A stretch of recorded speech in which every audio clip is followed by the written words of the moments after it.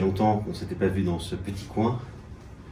Vous noterez que le lierre est apparent puisque nous avons une petite maladie et sur les conseils de ma femme, nous avons retiré toutes les feuilles malades. Alors il fait aujourd'hui un froid de canard. Heureusement, j'ai mon manteau qui je pense être le meilleur manteau du monde. Et j'espère que de votre côté, le chauffage central fonctionne bien et que vos radiateurs sont bien chauds. Dans le cas contraire, je vous invite à regarder ma vidéo sur relancer son chauffage central. On se retrouve ici pour vous expliquer comment transporter un meuble à l'aide d'une galerie sur le toit de la voiture. Cette méthode vous évite de devoir rouler en camionnette toute l'année ou bien de louer une camionnette spécifiquement pour le déplacement d'un simple meuble. Cette question sera d'autant plus critique si vous voyagez loin. Deux parties dans cette vidéo, une première partie un peu théorique où je vous montrerai les différents ingrédients dont on a besoin et une deuxième partie beaucoup plus concrète où je vais vous montrer en situation réelle comment déplacer ce meuble. Trois types d'ingrédients, il faudra évidemment la barre de toit.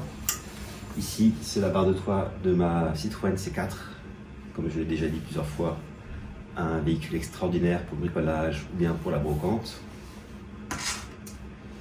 Ensuite, on va se servir de sangle. Donc ici, j'ai plusieurs types à vous montrer. Et enfin, on va se servir de carton seront utiles pour éviter à ce que le meuble s'abîme. Alors on commence par les barres de toit. Donc euh, ces barres de toit sont hyper simples. Elle présente en outre l'avantage ici, c'est qu'on peut régler la largeur de la, de la barre en fonction de l'emplacement où vous le mettez sur votre toit.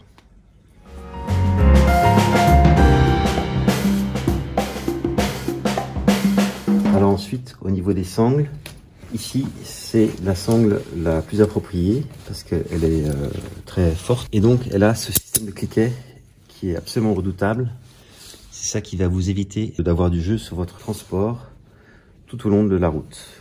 Et alors, ça se présente comme ça. Un sens pour faire le cliquet pour avancer la sangle. Ensuite ici, un système de déblocage.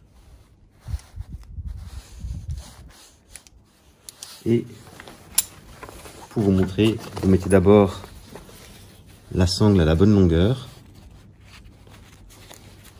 qui veut dire que vous allez tirer le plus fort possible sur cette partie. Et une fois que c'est fait, vous envoyez cliquer.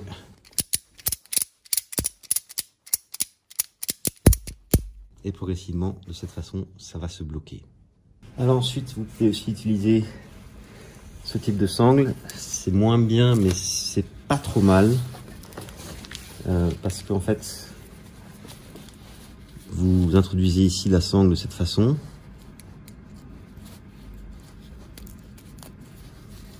Voilà, vous tirez le plus possible. Vous pouvez tirer dans ce sens-là. Mais après, dans l'autre sens, en fait, ce cliquet ici va bloquer euh, la sangle et donc, d'une certaine manière, c'est auto-serrant.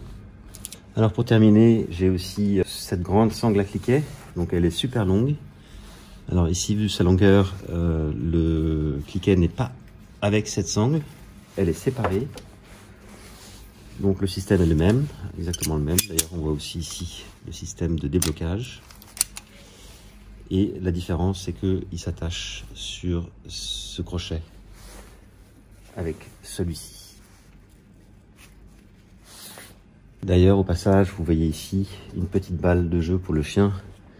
J'ai déjà parlé des jeux de chiens dans ma vidéo sur les trois trucs gratuits ou pas chers pour chiots. Et enfin, on va se servir de carton pour mettre sur les barres de toit. Ça va éviter d'endommager euh, l'objet que vous transportez.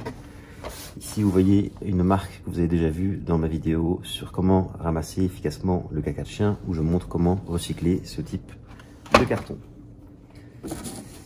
Alors, vous aurez besoin de toute la largeur possible.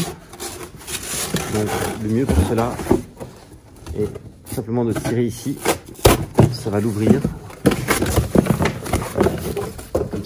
on a une belle longueur. Et au passage, voici une marque de champagne que je recommande vivement.